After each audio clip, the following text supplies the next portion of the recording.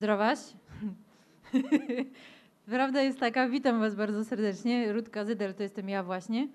E, Rudka, bo, bo tak mi mówił chłopak, którym się kochałam bardzo, a Zydel, bo to jest takie ładne słowo na takie ładne krzesło. A jak się to połączy razem, to brzmi tak, że się ludzie o głupie rzeczy pytają i jakoś mnie, nie wiem, podoba mi się to jakoś w sumie. Nie przedłużając, chciałabym zacząć ten wspaniały wieczór od czegoś na kształt tryptyku o miłości, bo ja się w sumie na niczym innym nie znam. Na tym też nie, ale przynajmniej podejmuję próbę. Lepsze to niż fizyka jądrowa.